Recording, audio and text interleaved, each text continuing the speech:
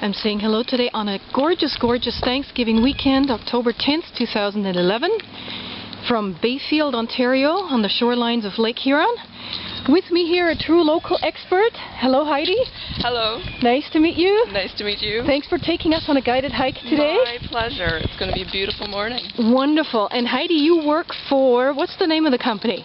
My husband and I are the owners of Outside Projects in Bayfield. Outside Projects. We are the local bicycle board uh, and outdoor apparel shop. Oh, nice, nice.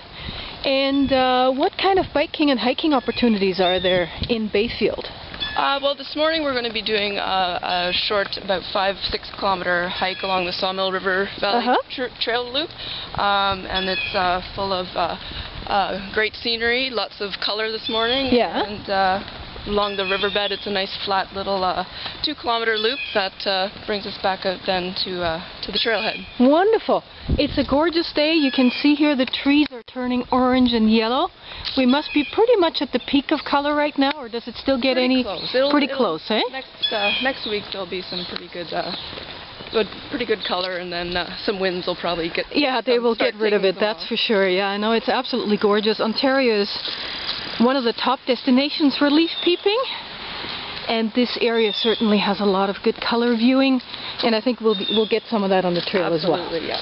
Wonderful. Now, if people want some information about your company, how would they find you? There must be a website. We do have a website. It's uh, outsideprojects.ca, and, Okay. and uh, there it links up with all our different companies that we deal with. and, uh, and all the different uh, other outdoor opportunities that we offer at the store. Great, awesome. Thank you so much, Heidi. My pleasure.